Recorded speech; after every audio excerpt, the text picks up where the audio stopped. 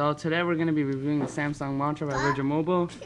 Uh, it's, it's, Virgin Mobile doesn't sell this phone anymore, but I think it's a good idea to have a good review of this phone. So let's start with the outside. So there's a nice uh, camera with a rubberized finish right over here. then there's this little silver lining, and then it says Samsung because it's made by Samsung. And there's a little little um, LCD display that says the time, which is always nice for a quick time knowledge. And this is for Virgin Mobile. So let's first look at uh, on the back. It's a rubberized finish, nice, so it doesn't slip out of your hands like when you're talking to people, which is really annoying. So it has a volume rocker right over here. And then on the other side, it has a dedicated camera button, which is actually really good. And it has a little nice, weird, and annoying port here for headphones and charging. Even though I've used this, but I couldn't figure out a way to put the headphones in there. Yeah. It didn't really. Yeah, it's like, work h- how do you put a 3.5 yeah, millimeter jack in there? I don't know. It's, all right, so Okay, that- whatever. That's, that's so fine. uh, just like more on, uh, let's look in the inside. One, two, three. So it's a nice, nice, vibrant LCD display. It's actually pretty big here. Um, very nice. It's actually, by the way, this is actually a very thin phone, which is really good. Alright, so about the buttons, it's nice bubble buttons. You see, it's very tactile. It's very nice to push. You just don't want to stop pushing. It lights up.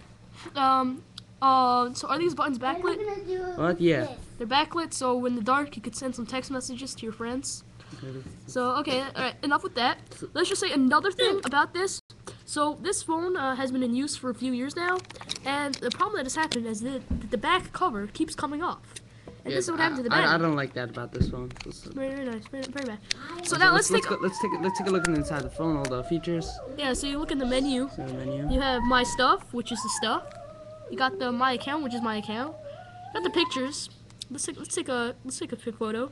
Um, Sick photo. So I, I, I, my brother he's kind of annoying, so I just put a lock on it. That's that's a good thing about this phone. You can lock a lot of stuff. So let's take a picture. Um, now it's loading. Let's take a picture of this guy right over here. Take a here. picture of this this, this Mikey guy. Oh, oh.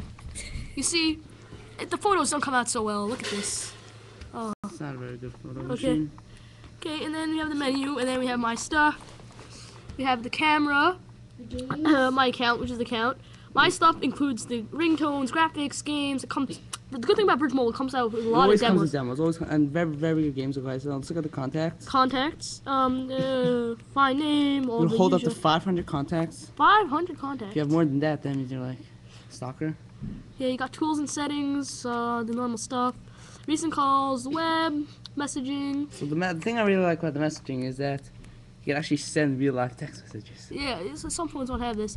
And this has uh, T980. So this Alright. phone runs on Paylo by Virgin Mobile. Uh, very affordable plan for people who don't want to spend too much money. Yeah, so uh, thank you for watching this and subscribe. Yeah!